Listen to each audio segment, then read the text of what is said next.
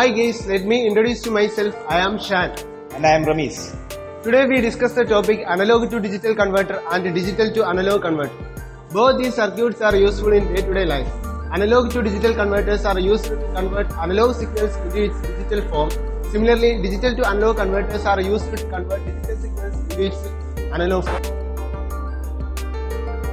Digital to analog converters and analog to digital converters are main blocks which interface sensors to digital systems like microprocessors or program counters. Today I am here to present a tutorial on analog to digital converter or ADC. An ADC takes an analog signal and convert it to corresponding digital output. So first let us look at the types of ADC. The types of ADC are mainly flash ADC, ramp ADC, counter ramp ADC. Today we will be doing a 2-bit flash ADC. A flash ADC is the fastest but it is expensive. It's expensive since it has more number of comparators compared to other ADCs. The number of comparators in a flash ADC is 2 raised to n minus 1 where n is the number of output bits. Now let us see the circuit diagram. This is the variable DC source and these four are the uh, voltage divider resistors. These three are the LM311 ICs and these three resistors are the feedback resistors and these uh, four consist of the NAND gates. The variable input is supplied to the positive terminal of the comparator and the fixed voltage is supplied to the negative terminal of the comparators.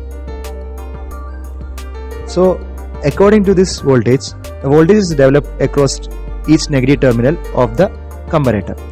When assume that the voltage supplied is V, so a voltage of V by 4 is developed across this resistor. A voltage of V by 2 is developed across this these two resistors. A voltage of 3 V by 4 is developed across these three resistors. Now let us consider the variation of the input. When the variable input voltage is between 0 and V by 4, the output of these three comparators becomes 0 and when the variable input voltage is between V by 4 and V by 2, the output of just this comparator becomes 1 and the other two becomes 0. And similarly, when the output of variable input voltage becomes V by 2 and 3V by 4, the output of these two comparators becomes 1 and output of this comparator becomes 0.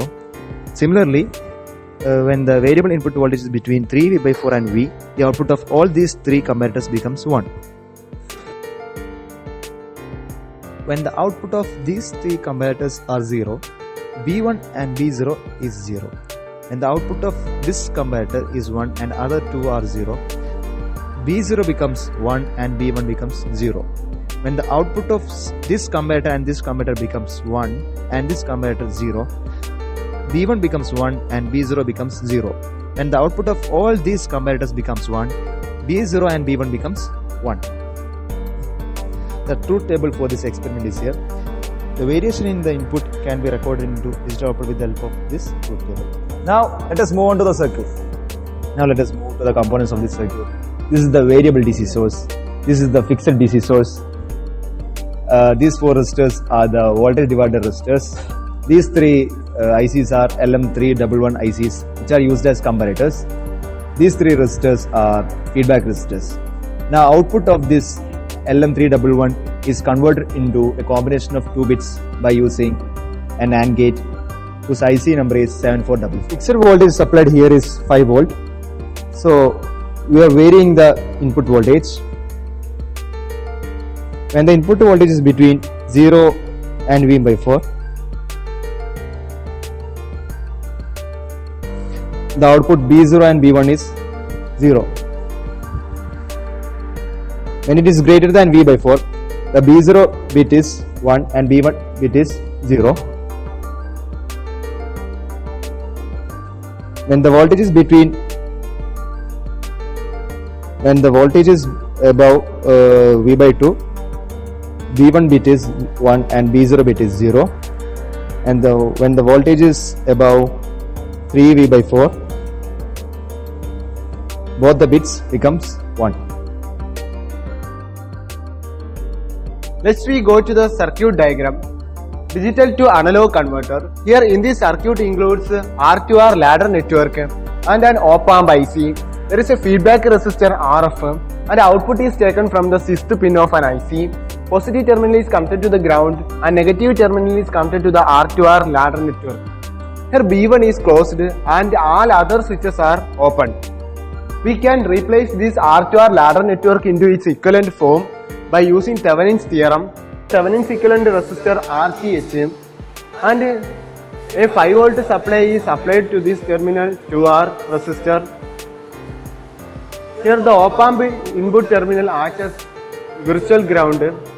Here it is at the zero potential. Similarly here it is at a zero potential. There is no current flows through this resistor RTH. From this loop 2R and RF we get an output loop equation B by 2R equal to 5 volt by 2R. If B2 is closed we get another equation B by 4R. Similarly if B3 is closed we get an output V by 8R. From these cases we can generate a general expression V out is equal to minus RF by R into B1 by 2 plus B2 by 4 plus B3 by 8 plus B4 by 15. In practical case, we use IC, counter IC to generate this 4 bit combination. Here the circuit includes a 7493 IC and a R2R ladder network and an op amp, feedback resistor The 7493 IC is used to generate digital input that is a 4 bit counter. Let's we take output from op amp.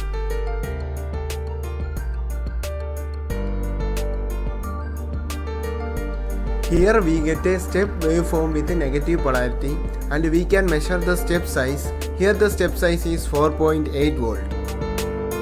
I hope this session was informative and helpful. So we are signing off. Thank you.